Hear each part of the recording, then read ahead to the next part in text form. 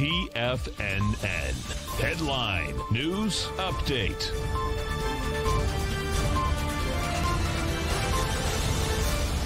Welcome, folks. We had the Dow Industrials finish down 811. You had the Nasdaq down 598. S&P's off 125. That's a downdraft, folks. And inside the Nasdaq Composite of 4.9 percent. Inside the S&P's 3.6 percent. Inside the Dow Jones 2.7.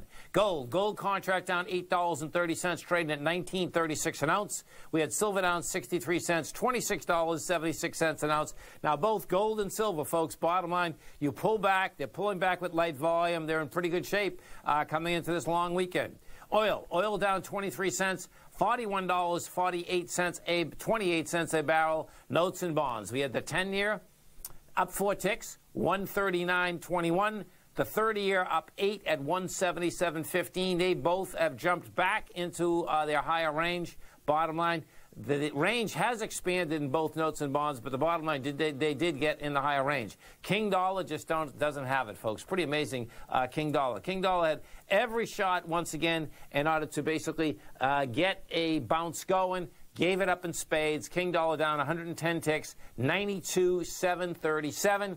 Uh, that baby is still building cause to get down into the 88 mark. The euro is at 118. The yen is out here at 109.146.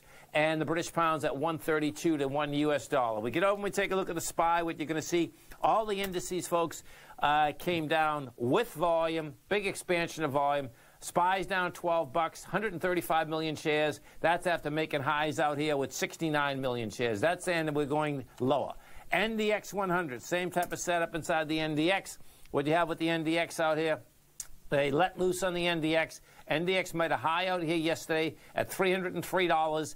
It had had all of 50 million shares traded. We did 98 on our way down.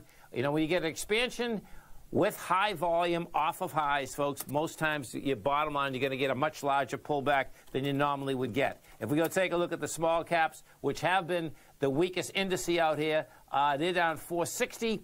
Uh, volume was there also. Uh, yesterday we went up with uh, 16 million to down with 30 right now. The, uh, the amazing thing about the small caps, actually, when you take a look at the indices, the small caps, even though it's been the weakest indice, it looks a lot better than the aspect of how the NDX 100 looks, the Nasdaq, or the S&P. Have a great night, folks. Have a safe night. Come back and visit us tomorrow. Tommy kicks us off 8:30 in the morning. Great show.